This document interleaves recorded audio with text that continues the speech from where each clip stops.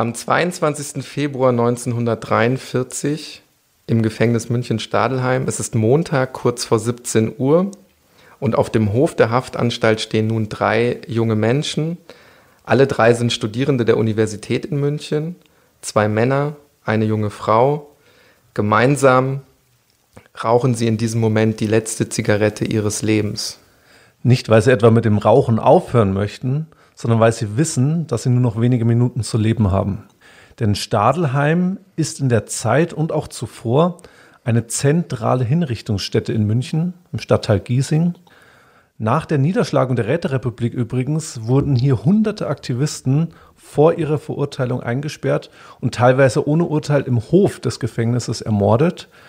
Darunter auch so prominente Namen wie Gustav Landauer und Eugen Levinet, zwei revolutionäre jüdische Abstammung, die ein sozialistisch-kommunistisches System in Bayern einführen wollten. Man kann also durchaus sagen, die Studierenden, von denen wir jetzt hier sprechen, die wissen, wo sie sich befinden. Sie wissen, dass sie nur noch wenige Minuten zu leben haben. Scharfrichter im sogenannten Vollstreckungsbezirk 8, zu dem zum Beispiel neben München Stuttgart gehört, ist Johann Reichert. Ja, und diesen Reichert, den merken wir uns schon mal, der hatte diesen Job als Henker bereits vor der Machtübernahme der Nationalsozialisten, wollte dann diesen Beruf eigentlich schon hinschmeißen. Es gab in der Weimarer Republik einfach zu wenig Hinrichtungen. Das ändert sich dann schlagartig 1933 mit der Machtübernahme der Nationalsozialisten. Damit waren er und seine Fallschwertmaschine so gefragt wie nie. Er wird dann zum zentralen Henker der Nationalsozialisten, nicht nur in München, sondern eigentlich im gesamten süddeutschen Raum. In Stadelheim werden in der Zeit des Nationalsozialismus, also bis 1945, fast 1200 Todesurteile vollstreckt. Da sehen wir nochmal die Bedeutung dieses Ortes. Ja, absolut. Und drei davon eben an diesem Spätnachmittag des 22. Februar 1943. Was ich auch so besonders finde, die Verurteilten sind ja erst wenige Tage vorher verhaftet worden. Also zwischen Festnahme, Prozess, Todesurteil und Vollstreckung dieses Todesurteils liegen also gerade vier beziehungsweise drei Tage. Ja, heute unvorstellbar, damals im totalitären System noch möglich. Dieser Scharfrichter Reichert, der erinnert sich später auch und soll dann auch gesagt haben, dass er nie jemanden so tapfer hat sterben sehen wie diese junge Frau. Ja, und ins Gedächtnis einbrennen werden sich auch die letzten Worte ihres Bruders, es lebe die Freiheit. Sie werden dann in den Raum geführt, in dem der Henker bereits wartet. Neben ihm steht die Guillotine, die er schon extra in der Zeit davor schon umgebaut hatte, damit sie schneller, damit sie effizienter tötet. Und alle drei werden an diesem Tag dann hingerichtet. Ja, die Geschichte dieser drei Studierenden möchten wir heute erzählen. Ich glaube, man kann aber sagen, wir gehen keinen ganz gewöhnlichen Weg. Warum tun wir das nicht? Weil wir versuchen, die Perspektiven verschiedener Menschen einzunehmen, die sich an ihrer Verurteilung direkt oder indirekt beteiligt haben. Wir, das sind Niklas Fischer und Hannes Liebrandt, zwei Historiker von der Ludwig-Maximilians-Universität in München und ihr hört Tatort Geschichte.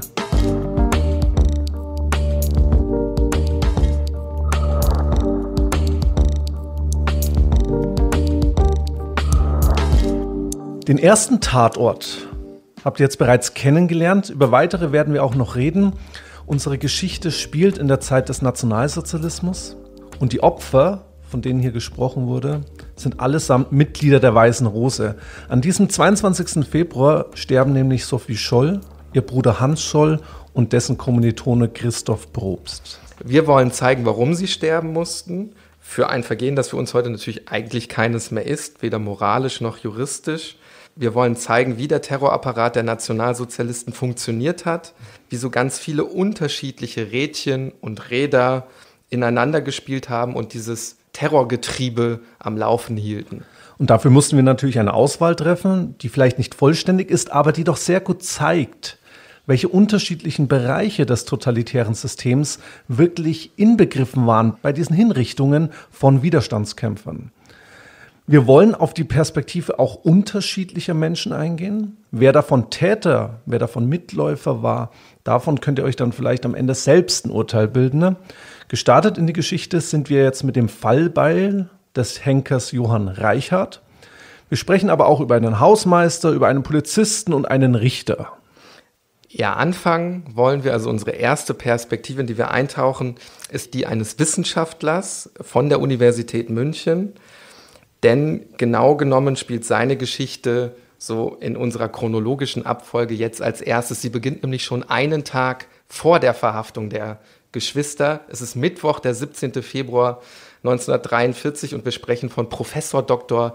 Richard Hader von der Universität München. Jetzt kann man sich natürlich fragen, was hat ein Wissenschaftler von der Uni mit den letzten Tagen von Sophie und Hans Scholl zu tun? Ja, Richard Hader, der wird von der Gestapo beauftragt, ein Gutachten über die Flugblätter der Weißen Rose anzufertigen. Es geht darum, Hinweise hinsichtlich der Urheberschaft zu finden. Und auf den ersten Blick könnte man meinen, warum dieser Professor Hader da geeignet wäre.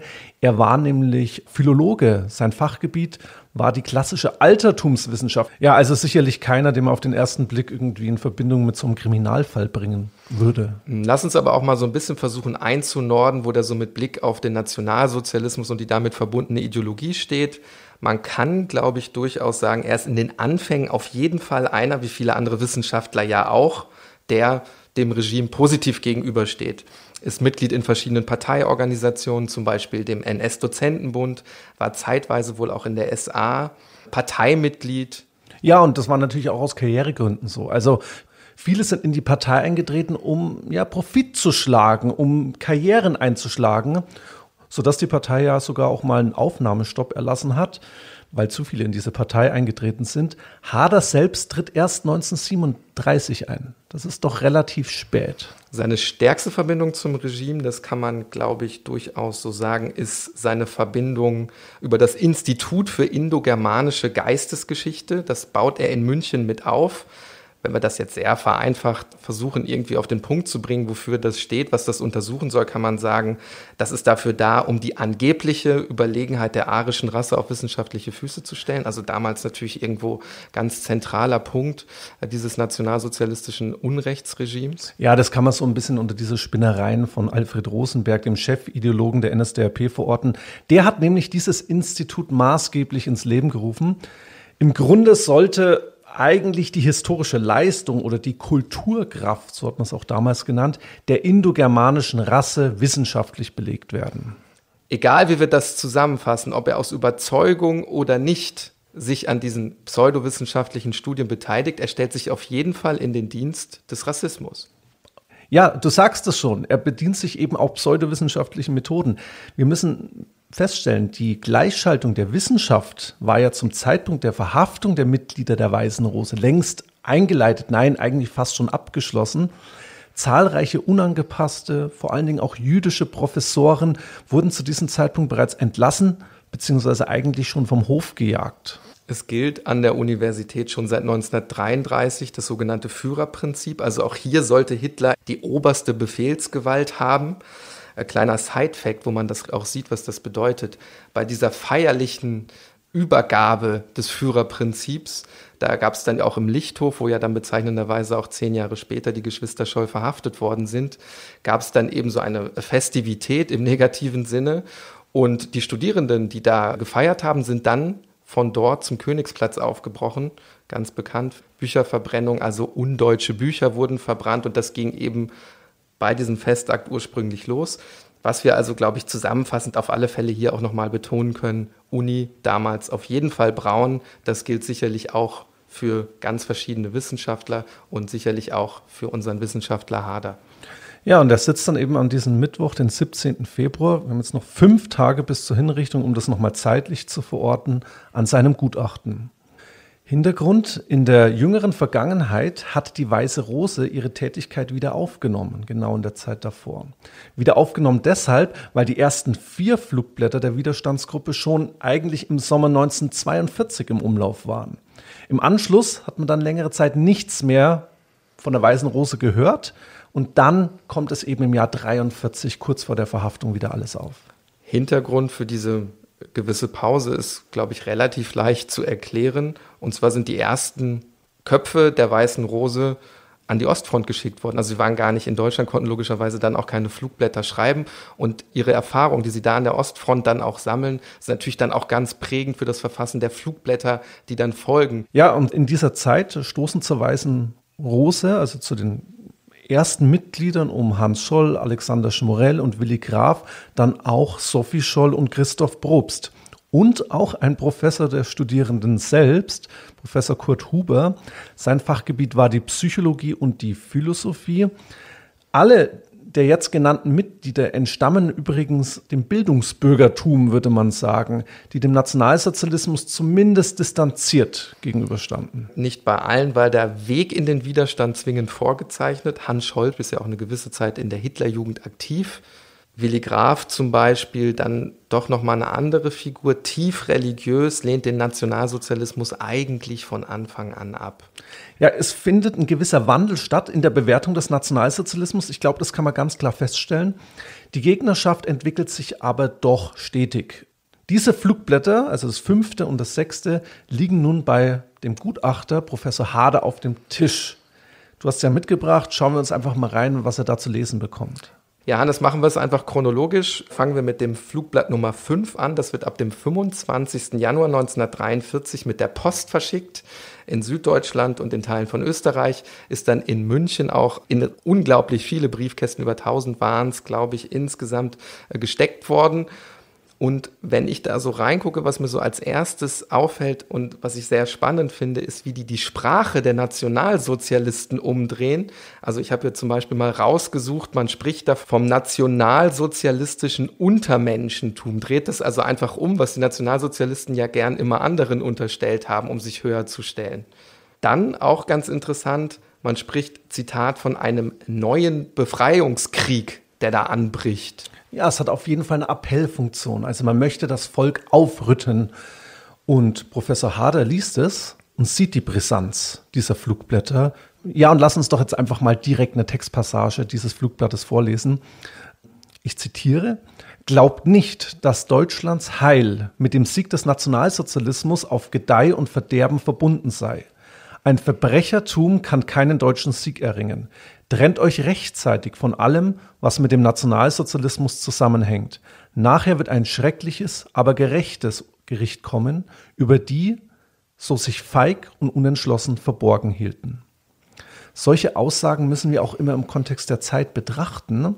Für die Nationalsozialisten erhöhte sich die Brisanz der Aussagen deshalb auch, weil relativ parallel die Schlacht bei Stalingrad tobte, in der Hunderttausende deutsche Wehrmachtssoldaten eingekesselt gewesen sind. Und dann hat man das noch stärker als Wehrkraftzersetzung, als Durchstoß aus der Heimatfront bewertet von Studierenden, die ja eigentlich privilegiert seien, weil sie ja mit Führersgnaden, Anführungszeichen, hier studieren dürfen in München. Ich meine mich zu erinnern, dass, glaube ich, sogar im Rundfunk damals äh, diese Niederlage eingestanden werden musste, weil es so offensichtlich war. Also gut, dass du das nochmal gesagt hast, wird, glaube ich, unglaublich deutlich, und das sieht man dann ja auch in der späteren Anklage, vor was da die Nationalsozialisten eigentlich Angst haben.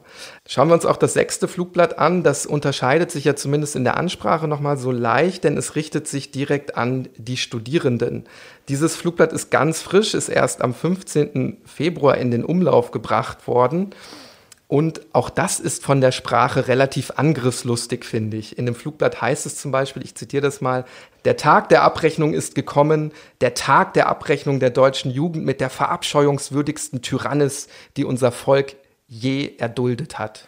Und das war natürlich ein Frontalangriff gegen das gesamte System und gegen Hitler persönlich auch.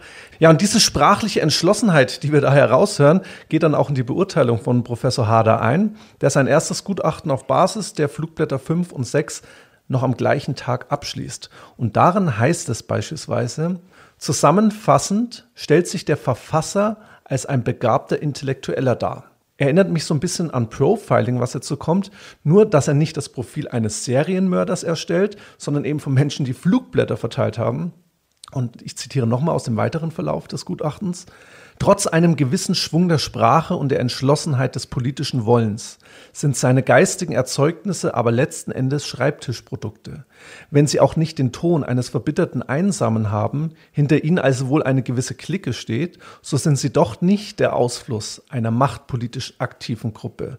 Dazu ist ihre Sprache zu abstrakt. Sie will und kann in breiten Kreisen der Soldaten oder Arbeiter keinen Widerhall finden. Ja, also kann man als Fazit sagen, sprachliche Entschlossenheit ja, so ein gewisses sprachliches Talent ja, Gefahr aus Sicht von Hader aber eigentlich keine.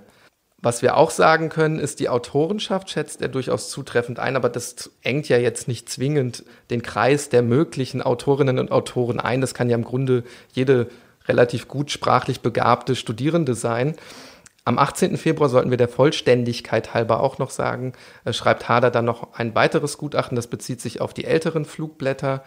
Und noch bevor seine Einschätzung dann vielleicht auch die Gestapo, die Ermittlungen weiter voranbringen könnte, der große Zufallstreffer. Sophie und Hans werden bei der Verteilung der Flugblätter an der Universität in flagranti erwischt.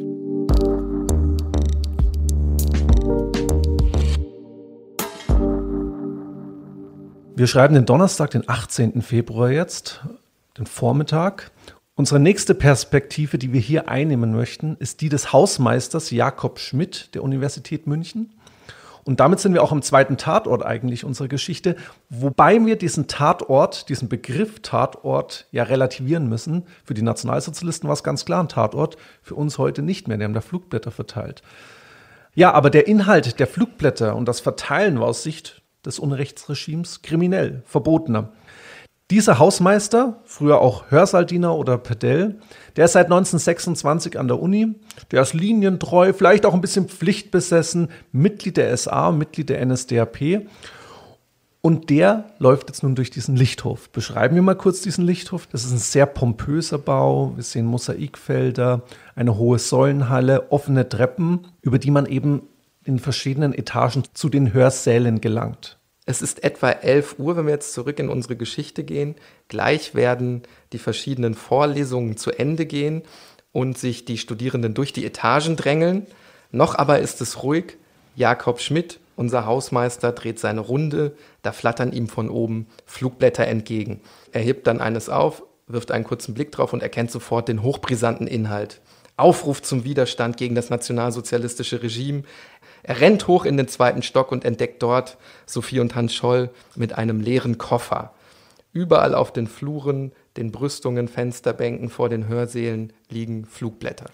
Ja, und dieser Jakob Schmidt, der packt die beiden nun an den Armen und zerrt sie ohne Widerstand in das Büro des Syndikus der Uni, also in die Person, die für die Rechtsangelegenheiten zuständig war. Man denkt sich immer, Mensch, warum sind sie da nicht weggerannt? Warum haben sie sich vielleicht auch nicht gewehrt in dem Falle? Die Gestapo wird gerufen, bis dahin werden alle Türen der Universität verriegelt. Keiner darf rein, keiner darf raus. Ja, und Hans Scholl, der hatte noch einen Zettel bei sich, den hat er irgendwie in der Innentasche seines Jacketts bei sich getragen. Den versucht er zu zerreißen. Auch das bemerkt unser pflichtbewusster Hausmeister Schmid, hebt diese Schnipsel auf zur Beweissicherung was Schmidt nicht wissen kann, und das macht die Geschichte, finde ich, so besonders tragisch, die waren ja eigentlich mit dem Verteilen schon fertig, hatten so ein paar Flugblätter übrig, hatten es schon zum Hinterausgang geschafft, haben dann aber gesagt, komm, wir versuchen irgendwie alle zu verteilen, denn wir wollen ja möglichst viele Menschen erreichen, gehen dann zurück, laufen in den zweiten Stock, schubsen Flugblätter von der Brüstung und die flattern dann eben unserem Hausmeister entgegen. Ganz besonders tragisch, wie ich finde, sonst hätte man sie möglicherweise nie erwischt. Ja, und wenn man sich das vorstellt, das sind echt nur ein paar Meter bis zur Amalienstraße und damit bis zum Weg in die Freiheit, wenn man jetzt das ein bisschen pathetisch ausdrücken möchte. Die Gestapo trifft dann auch sehr schnell ein. Hintergrund ist der, die Gestapo-Zentrale liegt im Wittelsbacher Palais und ist nur einen Katzensprung entfernt. Und hier hat auch der Leiter einer Sonderkommission sein Büro, welche eben die Herkunft dieser Flugblätter bereits zuvor schon aufklären sollte mitten in seine Ermittlungstätigkeit, wie er sich dann auch später erinnert, vielleicht liest er auch gerade das frische Gutachten vom Professor Hader, erhält er dann den Anruf, dass zwei Studierende an der Uni verhaftet worden sind. Und dann macht er sich augenblicklich auf den Weg und trifft kurze Zeit später an der Uni ein.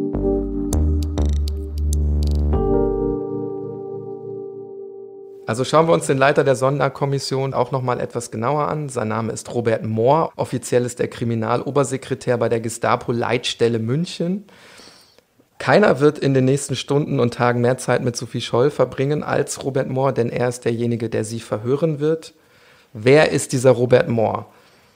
Machen wir vielleicht mal etwas ausführlicher. Er ist ja noch etwas mittelbarer an der Verurteilung der Weißen Rose beteiligt, ist eigentlich gelernter Schneider wird dann nach dem Ersten Weltkrieg Polizist, gibt von ihm auch eine Aufnahme von seiner Mitgliederkartei in der NSDAP. Wenn wir uns die mal anschauen, ich habe die hier vor mir liegen, sehr schmales Gesicht, spitze Nase, markante Wangenknochen, ausgeprägte Grübchen zwischen den Augen und am Kinn, leichte Segelohren erkenne ich auch, kurze dunkle Haare, Seiten abrasiert, heute würde man glaube ich sagen Undercut.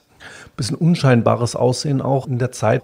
Er war Beamter zunächst in der bayerischen Pfalz, die ist in der Weimarer Republik von Franzosen besetzt. Auch er selbst wird in dieser Zeit oftmals, befristet zumindest, ausgewiesen. Vielleicht formt es in gewisser Hinsicht seinen Hass auch auf Franzosen, wir wissen es nicht. Was wir aber doch wissen, ist, dass er antikommunistisch ist, wie viele andere Nationalsozialisten der Zeit auch. Er hat immer wieder als Polizist mit Kommunisten zu tun, muss Versammlungen auflösen, teilweise auch mit Gewalt. Er wird dann nach der Machtübernahme der Nationalsozialisten direkt Parteimitglied der NSDAP, wird im Mai 1933 Polizeileiter im pfälzischen Frankental, schwieriges Wort für einen Westfalen wie mich, und wechselt dann 1938 zur Gestapo nach München. Was ich so einen ganz wesentlichen Punkt finde in seiner Vita ist, er leidet an Magengeschwüren und er bricht dann 1942 sogar mit einer Blutung zusammen, braucht dringend eine Transfusion und es kommt dann innerhalb der SS zu einer Art Aufruf und es meldet sich tatsächlich ein Freiwilliger. Äh, warum erzähle ich das überhaupt alles hier? Weil das möglicherweise auch nochmal so seine Verbindung gestärkt hat zum System, seine Verbundenheit, Kameradschaft.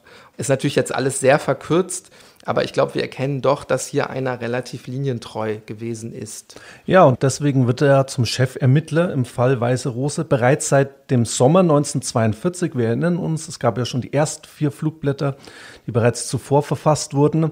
Man tappt aber vollkommen im Dunkeln in der Zeit. Man weiß weder, woher die potenziellen Verfasser genau kommen, noch wer sie überhaupt sind. Sind es Einzelpersonen, ist es eine Gruppe, sind es Männer, sind es Frauen? In einem internen Schreiben der Gestapo wird zum Beispiel auch spekuliert, dass die gar nicht aus München kommen. Der Grund? Bei der Verteilaktion lag der Münchner Hauptbahnhof im Zentrum. Und dann stellte sich die Frage, vielleicht kommen die überhaupt nicht aus München, sind die mit dem Zug angereist und haben das dann rund um den Hauptbahnhof verteilt. Es gibt also keine heiße Spur und dann der Zufallstreffer, die Verhaftung der Geschwister Scholl an der Universität München. Robert Mohr, du hast es gesagt, fährt dann selbst zum Tatort. Wir müssen uns diesen Tatort, auch das hast du gesagt, in Anführungszeichen denken. Man führt ihn dann direkt in das Vorzimmer des Rektorats und tatsächlich sieht er dann eben so einen Stapel von Flugblättern, wirft dann kurz einen Blick rein und erkennt sofort die Verwandtschaft zu den Flugblättern, die sich bei ihm auf dem Schreibtisch befunden haben, also die dann auch unser Wissenschaftler Hader begutachtet hatte. Und was tut Moore jetzt? Klar, er lässt die Geschwister abführen, zum Wittelsbacher Palais, also zur Gestapo-Zentrale. Er wird sich in seinen später nach dem Krieg verfassten Erinnerungen daran erinnern, dass die beiden ja relativ ruhig bei der Festnahme wirkten. Ja, und dieses Wittelsbacher Palais, das ist unser nächster Ort, den wir heute besprechen möchten. Direkt in München, direkt in der Innenstadt von München. Entlang der Brienner Straße gelegen. Das war die ehemalige Fürstenstraße der Wittelsbach, eine ganz pompöse, bedeutende Straße in München. Dieses Palais war eigentlich der Altersruhesitz von Ludwig I. Hier wurde dann aber später die Münchner Räterepublik ausgerufen und jetzt der Sitz der Gestapo. Wir sehen also einen Ort mit komplett wechselhafter Geschichte. Und nach der Aufnahme in die Gestapo-Zentrale, da gab es auch ein Gefängnis übrigens, ein Gestapo-Gefängnis im Hinterhof, werden die beiden direkt verhört in Räumen nebeneinander, nur durch eine Tür getrennt. Mohr übernimmt jetzt die Befragung von Sophie Scholl. Und was interessant ist, sie macht aus ihren Überzeugungen von Beginn an überhaupt keinen Hehl, spricht zum Beispiel in ihrer einleitenden Erklärung ausführlich über die Zitat weltanschauliche Entfremdung gegenüber der NSDAP. Und als Hauptgrund, gemäß Vernehmungsprotokoll, nennt sie die Abneigung gegen den Nationalsozialismus. Da zitiere ich noch mal ganz kurz. Sie sagt nämlich, dass die geistige Freiheit des Menschen in einer Weise eingeschränkt sei, die meinen inneren Wesen widerspricht. Zusammenfassend möchte ich die Erklärung abgeben, dass ich für meine Person mit dem Nationalsozialismus nichts zu tun haben will. Mutig, aber kein Geständnis, denn sie gibt ja nicht zu, dass sie die Flugblätter an der Uni verteilt hat.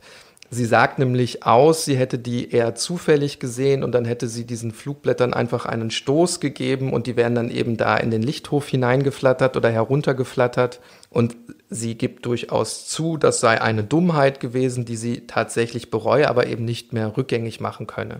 Ja, aber da war noch der leere Koffer. So ein Indiz in diesem ganzen Fall, zumindest für den Chefermittler Mohr.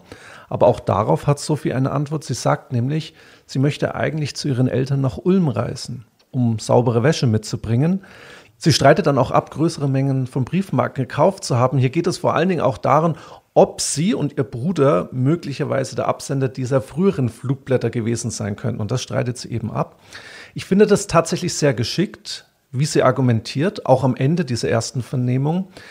Chefermittler Mohr weist sie nämlich nachdrücklich darauf hin, dass Hans Scholl und Sophie Scholl dringend tatverdächtig sind, weil man sie ja vor Ort erwischt hat. Und es gibt eben eine Reihe von Indizien und Tatsachen, die gegen die beiden sprechen würden. Sie soll also unbedingt die Wahrheit sagen. Sie wird richtig aufgefordert dazu. Auf diesen Appell von Moore antwortet sie sehr pointiert. Wir lesen das vielleicht einfach auch kurz mal vor. Das sind natürlich jetzt die Gestapo-Protokolle, muss man dazu sagen. Sie antwortet, Zitat, Trotz ernster Vorhaltungen und Ermahnungen muss ich nach wie vor bestreiten, sowohl an der Herstellung als auch mit der Verbreitung der in Frage stehenden Flugblätter auch nur das geringste zu tun zu haben. Ich sehe selber ein, dass eine Reihe von Verdachtsmomenten gegen meinen Bruder und mich sprechen und dass dann, wenn die richtigen Täter nicht gefunden werden sollten, der Verdacht unter Umständen an uns beiden haften bleiben wird. Sie wissen natürlich, was auf dem Spiel steht. Wie ein totalitäres System wie das Dritte Reich gegen Widerstandskämpfer vorgeht. Und deswegen ist diese ruhige und sehr rationale Art doch bemerkenswert aus unserer heutigen Sichtweise. Und wir erkennen daraus natürlich auch, dass sie sich sehr, sehr wahrscheinlich mit ihrem Bruder Hans abgesprochen hat, dass man also auf diese Vernehmungen auch ein Stück weit vorbereitet ist. Ja, unbedingt. Und diese Strategie geht am Anfang auch auf. Mohr erinnert sich dann später, wie glaubwürdig Sophie Scholl ihm gegenüber argumentiert hat. Mehr noch glaubt er sogar, dass beide, also Sophie und Hans, an diesem Tag noch entlassen werden würden. Was wir aber heute wissen, diese Verhöre sind dann die Grundlage für die spätere Anklage und auch für das Todesurteil. Das heißt, irgendwann kippt dann die Stimmung. Ja, sie kippt, weil während die beiden verhört werden, parallel laufende Hausdurchsuchungen stattfinden bei den beiden in der Wohnung. Und hier werden eben Indizien gefunden, die die beiden schwer belasten. Fassen wir diese Indizien vielleicht kurz zusammen. Es sind 100 Briefmarken, die dort gefunden werden, also deutlich mehr als die handelsübliche Menge. Und man findet Briefe, die mit der gleichen Handschrift geschrieben sind wie der Zettel, den Hans Scholl bei der Festnahme zerrissen hat. Warum ist dieser Zettel so belastend? Weil das ein handschriftlicher, nicht veröffentlichter Flugblattentwurf ist. Bis dahin hatte Hans Scholl immer behauptet, dass er genau diesen Zettel, den er da zerrissen hat, am Morgen in seinem Briefkasten gefunden hat und den dann einfach mitgenommen hat. Und das kann er natürlich jetzt nicht mehr aufrechterhalten. Ja, von diesen Flugblattentwürfen konnte man nachweisen, dass die Handschrift eben nicht von Hans Scholl stammt, sondern von Christoph Probst. Und damit hatte man eigentlich ihn als Urheber dieser Flugblattentwürfe enttarnt, nicht aber Hans Scholl. Und was macht jetzt Hans Scholl? Er gesteht nun umfänglich und belastet sich damit selbst. Auch weil er sicherlich versucht, die Schuld auf sich zu nehmen. Das passiert alles mitten in der Nacht und damit wendet sich das Blatt ganz klar zu Ungunsten der Mitglieder. Nachdem dann Hans Scholl gesteht, gesteht auch seine Schwester Sophie. Ja, und die sagt dann zu den Motiven der Weißen Rose dann auch ausführlich aus. Es war unsere Überzeugung, dass der Krieg für Deutschland verloren ist und dass jedes Menschenleben, das für diesen verlorenen Krieg geopfert wird, umsonst ist. Ich zitiere weiter. Ich war mir ohne weiteres im Klaren darüber, dass unser Vorgehen darauf abgestellt war, die heutige Staatsform zu beseitigen und dieses Ziel durch geeignete Propaganda in breiten Schichten der Bevölkerung zu erreichen. Ganz ähnlich dann auch das Geständnis von Hans Scholl. Auffällig bei beiden ist auf jeden Fall auch der Versuch, die Schuld komplett auf sich alleine zu nehmen, also sich so als Kopf der Widerstandsgruppe zu inszenieren. Angeblich habe man auch den Großteil der Aktionen alleine ausgeführt. Ein Helfer wird benannt, Alexander Schmorell. Der Name fällt aber wohl nur, weil man der Meinung war, der Alexander Schmorell hat sich sowieso schon absetzen können, sei sowieso schon auf der Flucht, den könnten die gar nicht verhaften. Die beiden versuchen darüber hinaus auch die Beteiligung aller weiteren möglichen Verdächtigen äh, zu kaschieren, also das absolut im Dunkeln zu lassen. Ja, und dann geht es eigentlich Schlag auf Schlag. Christoph Probst, den man mit dieser Handschrift überführen konnte, wird dann in Innsbruck festgenommen. Hier befindet sich seine Studentenkompanie. Studenten waren ja auch Reservisten der Wehrmacht und deshalb in solchen Kompanien auch organisiert. Am Samstag, den 20. Februar 1943, wird er ebenfalls dann im Wittelsbacher Palais verhört also der Gestapo-Zentrale. Er gibt zu, diese handschriftlichen Notizen angefertigt zu haben und damit stehen die drei Hauptangeklagten fest. Ja, und dann nur einen Tag später, also am 21. Februar, also Sonntag, steht dann auch schon die Anklageschrift und da heißt es unter anderem Vorbereitung zum Hochverrat, Wehrkraftzersetzung, Beeinflussung der Massen, Feindbegünstigung und, und, und. Und auf all das steht die Todesstrafe. Ja, und wenn wir jetzt nochmal die Perspektive des Chefermittlers Robert Mohr einnehmen, er wird später behaupten, er habe Sophie Scholl vor allen Dingen in den Verhören das Leben retten wollen, habe immer wieder versucht, ihr in den Mund zu legen, dass ihr Bruder hauptverantwortlich sei, sie so als die unschuldige Frau zu inszenieren.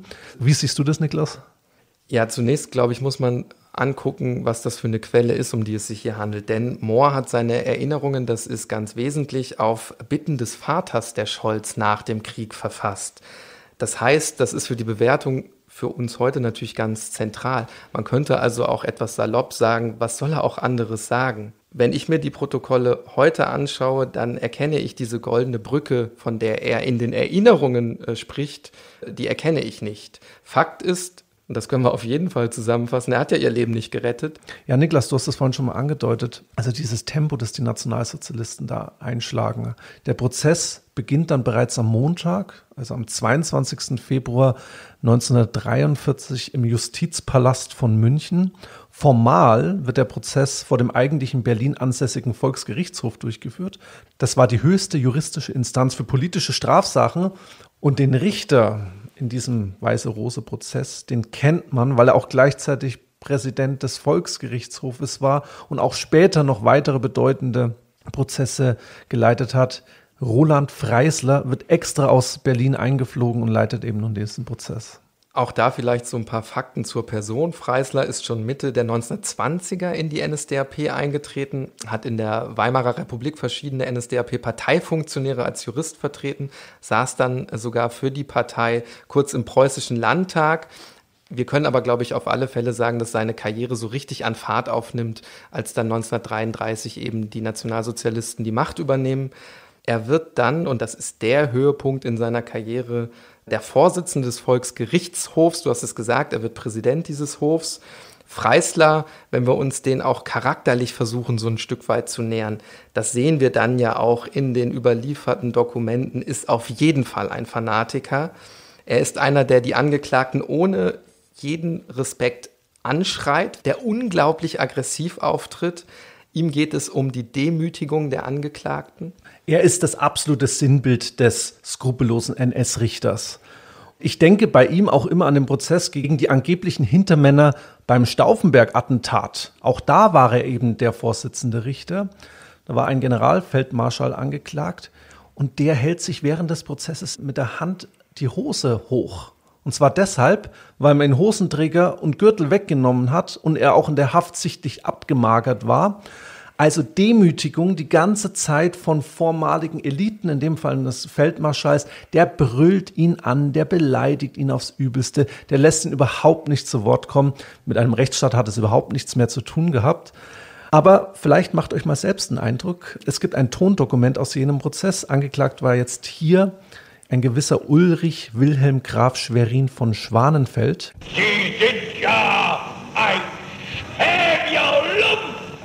Sie unter der Gemeinheit? Ja oder nein? Verbrechen Sie darunter? Präsident. Ja oder nein auf eine klare. Ja, und dieser Roland Freisler, der soll nun für 2600 Todesurteile in der Zeit des Nationalsozialismus verantwortlich gewesen sein. Er war im Übrigen auch eines der Mitglieder der sogenannten Wannsee-Konferenz. Dort hat man die sogenannte Endlösung der Judenfrage, also die systematische Vernichtung der Jüdinnen und Juden, vor allen Dingen in Osteuropa, logistisch und organisatorisch vorbereitet. Wir können sagen, wie üblich für die Zeit von 1933 bis 1945, also für eine Zeit, in der das Unrecht für die Rechtsordnung verantwortlich war, haben die Angeklagten nicht die Möglichkeit, sich selbst einen Anwalt zu nehmen. Das gilt auch für Sophie und Hans Scholl. Das gilt auch für Christoph Probst. Allen dreien wird ein Pflichtverteidiger bestellt. Die Geschwister bekommen sogar denselben. Sein Name ist August Klein. Und dieser besucht Sophie Scholl dann vor dem Prozess in ihrer Zelle und fragt sie, ob sie noch irgendwelche Wünsche habe. Von der Entwicklung einer gemeinsamen Verteidigungsstrategie kann aber eigentlich keine Rede sein. Nein, und das ist wieder auch typisch NS-Muster. Man wahrt den Schein eines Rechtsstaates. Hast ja gerade die Instanzen auch genannt. Es wird einen Prozess geben, es wird einen Pflichtverteidiger geben, aber insgeheim hebelt man diesen Rechtsstaat aus oder hat ihn längst ausgehebelt. Und so ist der Anwalt also auch ein Rädchen im Getriebe, kein wirkliches Bemühen erkennbar, seine Mandantin angemessen zu vertreten. Ja, und Sophie weiß das natürlich auch. Denn sie erkundigt sich bei ihrem Anwalt nur danach, ob ihr Bruder wohl ein Anrecht auf Erschießung habe und wie man sie auch mutmaßlich hinrichten lässt. Ob man sie aufhängt oder eben sie köpft. Eine gewisse Resignation setzt wohl bei denen dann auch ein. Das müssen wir uns ja bewusst machen. Was war am Ende das Vergehen? Die haben Flugblätter verteilt. Ich finde, das können wir uns aus unserer ja. heutigen Perspektive überhaupt nicht vorstellen. Ja, definitiv. Und diese Karikatur des Rechtsstaates geht dann eigentlich weiter. Der Prozess findet ohne die Augen der Öffentlichkeit statt.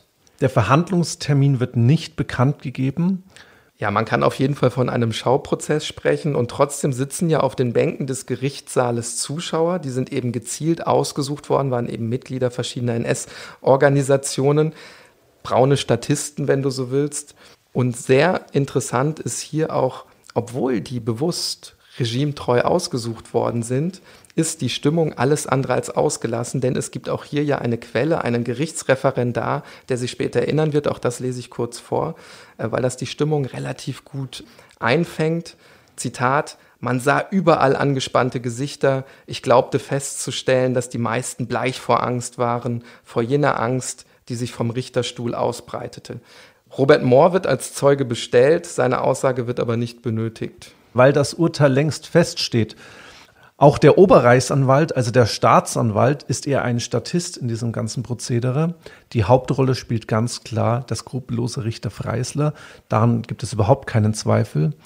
Der bereits von dir erwähnte Gerichtsreferendar schreibt über Freisler, ich zitiere, tobend, schreiend, bis zum Stimmüberschlag brüllend, immer wieder explosiv aufspringend.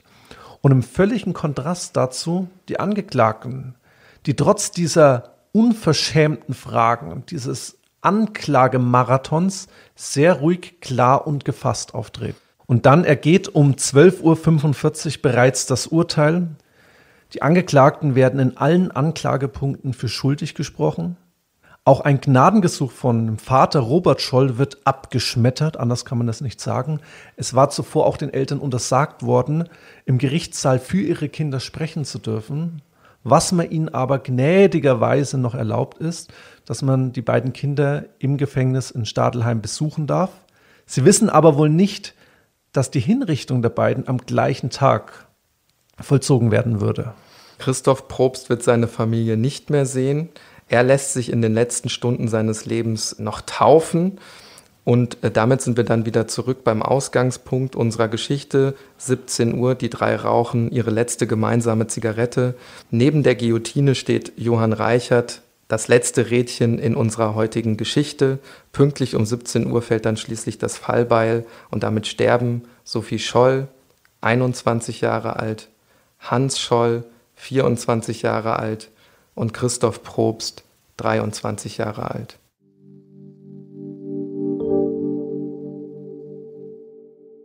Sie werden auch nicht die einzigen Opfer im Widerstandskreis der Weißen Rose bleiben. Kurt Huber, der Professor der Universität, und Alexander Schmorell werden am 13. Juli 1943 enthauptet. Willi Graf am 12. Oktober 1943. Zu diesem Zeitpunkt waren der 22-jährige Hans Leipelt und die 25-jährige Marie-Louise Jahn längst von der Widerstandsgruppe der Weißen Rose inspiriert. Sie fertigten mehrere Abschriften, insbesondere des sechsten Flugblattes, an und versahen es mit dem Zusatz und ihr Geist lebt trotzdem weiter. Sie verteilen es auch in Hamburg, sammeln auch Geld für die Witwe des Professors Huber. Und auch die beiden können sich nicht der Kontrolle des totalitären Systems entziehen. Sie werden denunziert und schließlich verhaftet. Der jüdischstämmige Hans Leipelt hat von Anfang an keine Chance. Er nimmt dann auch alles auf sich und wird am 29.01.1945 ebenfalls in München-Stadelheim hingerichtet. Da geht der Zweite Weltkrieg noch drei Monate. Marie-Louise Jahn überlebt diesen Zweiten Weltkrieg. Sie ist noch in der Zeit des Nationalsozialismus zu zwölf Jahren Zuchthaus verurteilt worden. Das wird dann natürlich nicht fortgesetzt nach 1945. Sie studiert dann Medizin und stirbt in einem hohen Alter in Bad Tölz. Deswegen ist unsere heutige Geschichte auch eine Geschichte über die Justiz im Nationalsozialismus und damit auch eine Unrechtsgeschichte.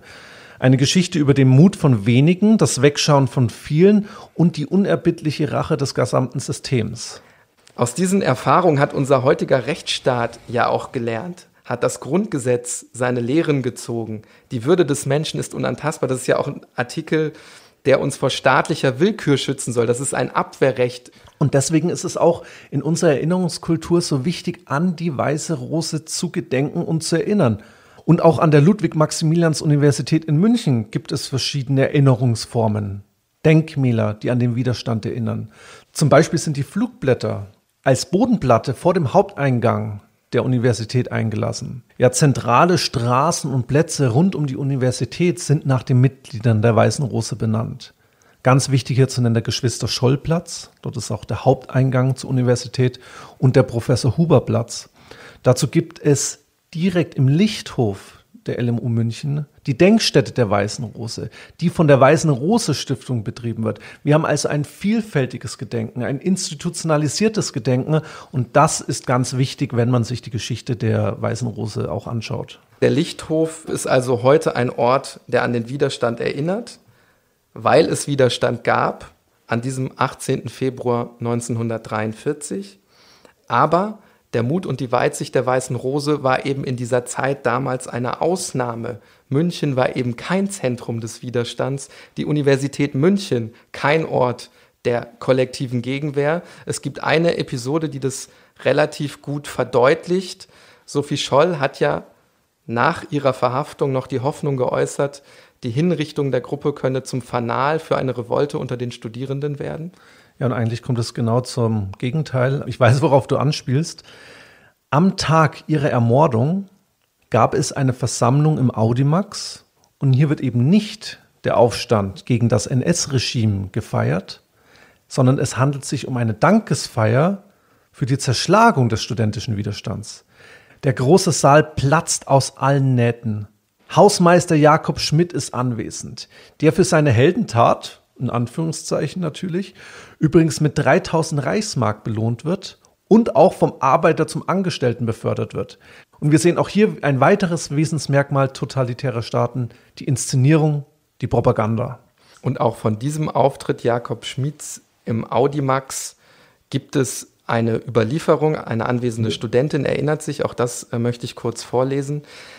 Die Kundgebung im Auditorium Maximum gehört zu den schauerlichsten Erinnerungen, die mir aus jenen Tagen geblieben sind.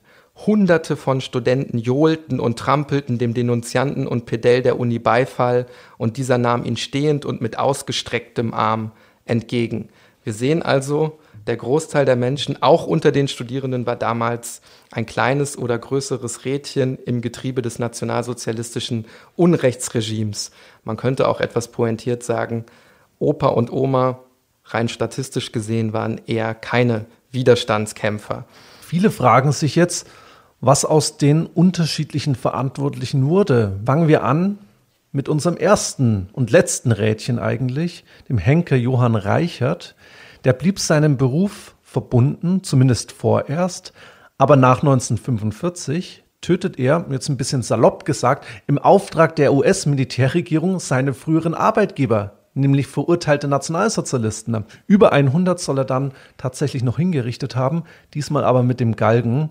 Er war auch der letzte Scharfrichter Bayerns, der in seiner gesamten Berufslaufbahn wohl 3165 Menschen hingerichtet haben soll. Es gibt mehrere Bücher, Hörbücher und auch satirische Stücke über ihn, wodurch sich auch ein bisschen dieser Begriff Galgenhumor erklären lässt. 1972 stirbt er dann verarmt und vereinsamt in der Nähe von München. Richard Hader, der wissenschaftliche Gutachter, wird nach 1945 zunächst als Mitläufer eingestuft. Das heißt, er darf nicht mehr lehren, aber weiter publizieren. Dieses Lehrverbot wird dann irgendwann aufgehoben und er geht 1952 nach Münster an die Uni und bleibt da bis zu seinem Tod 1957. Anders der Hausmeister Jakob Schmidt, der als hauptbelastet eingestuft wird und zu fünf Jahren Arbeitslager auch verurteilt wird. Er verliert zudem auch den Anspruch auf öffentliche Bezüge. Er geht dagegen immer wieder in Revision. Er besteht aber auch darauf, dass es verboten gewesen war, diese Flugblätter zu verteilen. Also er sagt, er hat nur seinen Dienst getan. Wir haben heute gesehen, was passieren kann, wenn man so pflichtbesessen agiert. Er stirbt dann 1964. Chefermittler Robert Moore, dessen Zeit läuft in der Gestapo-Leitstelle dann aus nach der Zerschlagung der Weißen Rose. Er wird dann äh, Gestapo-Chef im elsässischen Mühlhausen 1947 dann wird er wegen seiner Polizeitätigkeit in der NS-Zeit kurz vor den Franzosen interniert und er wird dann später Angestellter in der Bäderverwaltung in Bad Dürkheim, stirbt relativ spät 1977. Bleibt noch der fanatische NS-Richter Roland Freisler. Der überlebt den Zweiten Weltkrieg nicht. Er bleibt bis zum Ende des Zweiten Weltkrieges zwar Präsident des Volksgerichtshofes, und stirbt dann am 3. Februar 1945. Bis zuletzt verkörperte er eigentlich die Perversion der Justizelite. In einer Verhandlungspause trifft ihn dann ein Bombensplitter bei einem schweren Fliegerangriff auf Berlin. Tatortgeschichte ist ein Podcast von Bayern 2 in Zusammenarbeit mit der Georg von Vollmer Akademie.